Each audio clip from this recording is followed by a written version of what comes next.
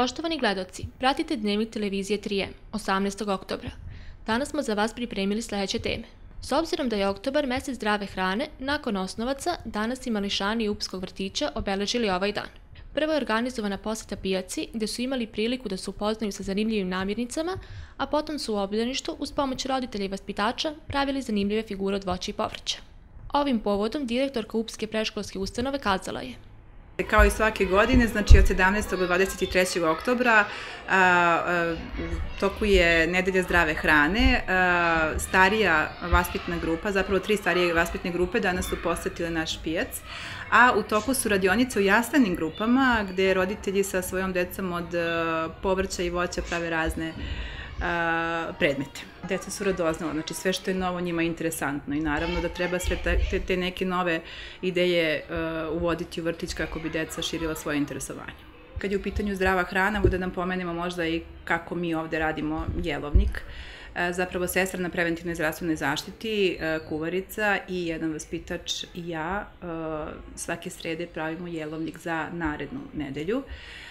Što se tiče namirnica, znači namirnice se nabavljaju svaki dan i tog dana se kuvaju. Znači ništa ne ostavljamo za sutradan, već se tog dana sprema ručak za taj dan. Trudimo se da to bude izbalansirano, obrok zdravi i deci što se dopada. Naravno. 27. oktobra će nam biti ovde grupa dece iz muzičke škole. Uh, oni su i prošle godine prvi put bili kod nas u vrtiću, tako što su predstavili deci uh, instrumente koje deca naravno mogu da, da sviraju. I ove godine nastavljamo saradnju, tako da 27. oktobra u 10 sati oni će biti naši dragi gosti ovde u vrtiću i nadam se da ćemo nastaviti saradnju. Za sad nam je super saradnja. I vaspitačice su imale znatan udeo u organizovanju ovog dana. Tema današnje naše radionice zove se Jesenje čarolije. E, roditelji su nam pomogli da napravimo od voća i povrća igračke ili po njihovoj želji šta su oni želeli da, da šta sve može od voća i povrća da se napravi. Nama se svake godine, pošto pravimo e, razne radionice preko godine, ovo je jedna od njih, uh, odazivaju se uvek rado i uvek se, i mnogo lepo, lepo to traje i verujte jako dugo traje. Jako dugo roditelji uh, ovaj, učestvuju tu. Uh, trenutno je ovo od ove generacije četvrta radionica po redu. Imali, imamo i muzičke instrumente što smo radili prošle godine, imamo sa ove i radili smo za novu godinu i eto. Nastavljamo dnevnik. Predsednik opštine Ub, Darko Glišić, sa direktorkom Doma zdravlja Biljanom Nikolić, predao je na upotrebu novu kardiološku sondu koja će u buduće biti na usluzi pacijentima ovog kraja. Dom zdravlja je danas bogatiji za jedan od najsavremenijih aparata, kardiološku sondu sa CV ili CV pločom, kako se to već stručno e, naziva. Takav aparat nikad nije bio u našem domu zdravlja. Ovo je po prvi put da jedno tako jedan tako savremen instrument za pomoć prilikom utvrđivanja diagnoze za sve one koji imaju kardioloških problema e, imamo u našem domu zdravlja, čime je ovaj čini svečaniji, veći i značajniji e, za sve korisnike usluga zdravstvene zaštite ovde u Upskom domu zdravlja, koji je u poslednjih godina postao jedan od, rekao bih, bolje opremljenih u Srbiji domova zdravlja, to mogu da kažem onako baš sa punom odgovornošću jer dosta dobro poznajem prilike širom Srbije, a svakako u regionu jedan od najopremljenijih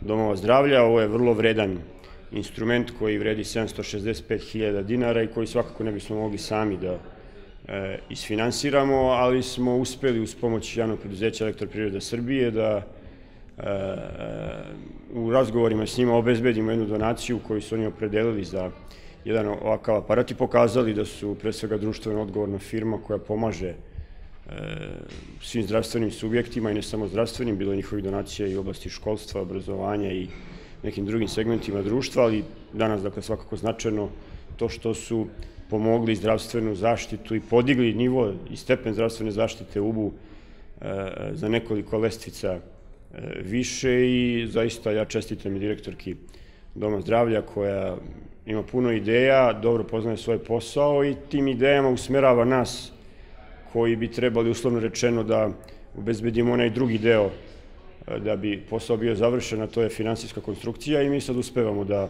kad vidimo da neko ima volju ovde u Domu zdravlja i da želi da Dom zdravlja ide napred, onda i mi imamo i snage i volje da to pratimo iznalazeći razne načine da dođemo do finansijskih sredstava i nije ovo nikako ni čudo, ni, ni ne znam šta, jer mi smo navikli naše građane u prethodne četiri godine da u kontinuitetu čitave godine radimo, bilo da je to putna infrastruktura, bilo da je to ne znam, rešavanje problema s niskonaponskom mrežom, opremanje doma zdravlja, izgradnja škola, ljudi su navikli da mi svaki mesec u godini ne trošimo uludo, već da činimo neke konkretne stvari. Oko ove smo se bavili, ne znam, nekoliko meseci je trajalo, trajala realizacija ovog projekta.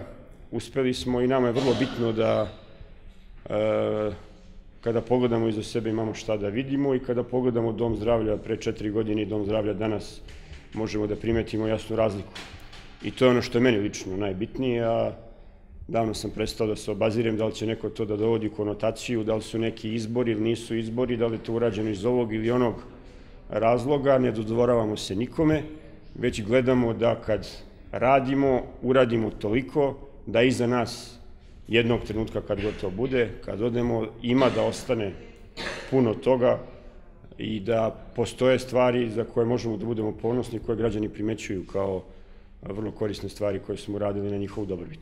Ovo jeste definitivno tako. Nismo dali donaciju da, ne znam, se igramo, ili da je potrošimo na neke gluposti, nego za jednu stvar zbog koje će dolaziti ne samo ljudi iz Upske opštine, nego čini mi se ljudi iz svih okolnih opština, jer nema nigde druge, sem u Valjevu, koji će dolaziti, dakle, dolaziti ovde u Upski dom zdravlja da potraže dijagnozu za neke svoje poteškoće koje se može sa jednim ovakvim instrumentom najsavremenijim trenutno najmodernijim utvrditi. Tako da, eto, čestitam ljudima iz upravnog odbora, direktorki doma zdravlja i idemo dalje, vidjet ćemo do kraja godine šta još možemo to da uradimo, pa ćemo naredne godine da napravimo plan za narednu godinu i radit ćemo predano eto, svaki mesec u godini.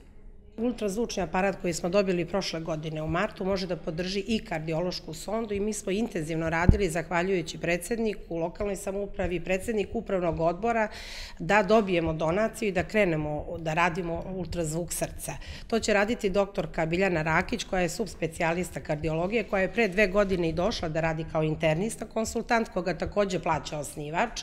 E, vi znate da je pre dve nedelje bila nedelja kardiovaskularnih bolesti, da smo mi među prvima u Srbiji, Srbija je među prvima od e, kardiovaskularnih e, bolesti, tako da ovaj, mnogo je značajna ta preventiva, a ova sonda će nam baš e, obezbediti dobru preventivu da jednostavno ljudi, pored internističkog pregleda koga mogu ovde da dobiju, vide i stanje svog i funkciju svog srčanog mišića, samim tim dobiju bolje lečenje, bolju terapiju i da kad odu u Valjevo već budu spremniji za neku još, ako im je potrebno, jaču diagnostiku i neki rad, terapiju pošto je ultrazvuk srca van standardna usluga koju Dom zdravlja ne mora da ima, ali uz podršku, rekla sam, i osnivača i upravnog odbora, mi ćemo doneti odluku da se ta usluga naplaćuje. Sigurno to neće biti neka velika suma, gledat ćemo da se uklopimo da bude niža nego da ljudi odu da zakažu u Valjevo, pa da tamo moraju da plate uslugu ili da čekaju, da duge su liste čekanja.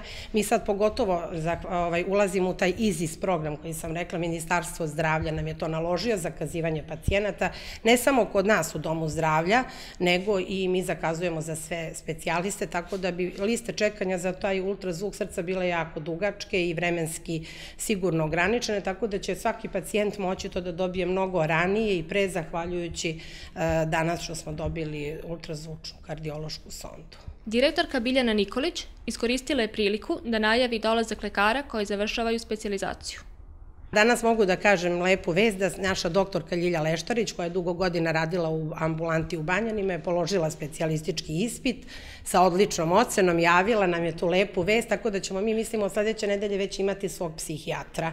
Takođe, očekujemo do kraja godine oftalmologa, tamo negde do aprila očekujemo fizijatra i doći će nam dve doktorke koje su na specijalizaciji opšte medicine, što isto tako e, će nam doprineti da nam bude kvalitetnije rad u opštoj praksi, odnosno tim izabrani doktor i sestra.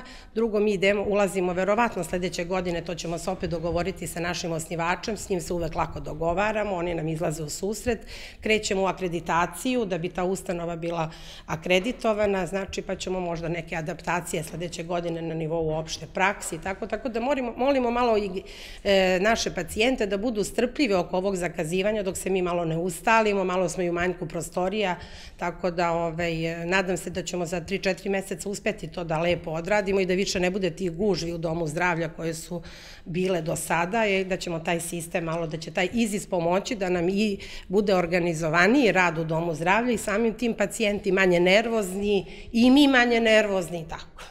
Ovo nije običan dom zdravlja, jeste naš dom zdravlja, pored Valjevskog, najveći, ali Valjevski dom zdravlja nema ovo što mi imamo, jer oni imaju sekundarnu zdravstvenu ustanovu u bolnici, a mi ovo samostalno radimo i mogu vam reći da direktor doma zdravlja u ni malo nije laka funkcija, jer ovde imamo i tekako van standardnih usluga i standardnih i konsultanata, ali kada imate dobru saradnju, kao što ja imam sa osnivačem, sve vam je lakše.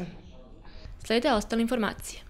Dinar je zadržao približno istu vrednost prema evru kao juče i zvanični srednji kurs je 123,18 dinara za 1 evro, objavila je Narodna banka Srbije. Biometeorološka situacija je relativno nepovoljna za većinu hroničnih bolesnika. Poseban oprez savjetuje se psihički osetljivim osobama i srčanim bolesnicima. Reumatski bolovi, glavobolja i pojačana nervoza su očekivane meteoropatske reakcije. Svim učesnicima u saobraćaju se preporučuje maksimalna opreznost. Vreme danas slično kao juče, pretežno oblačno uz mogućnost povremene kiše sa kratkotrajnim sunčanim intervalima. Maksimalna dnevna temperatura dostići će 16 stepeni Celzijusa. Dnevni televizije 3M potpisuju novinar Esmina Miletić, snimatelj Milutin Rafailović i urednik Milica Marković. Ostanite uz program televizije 3M.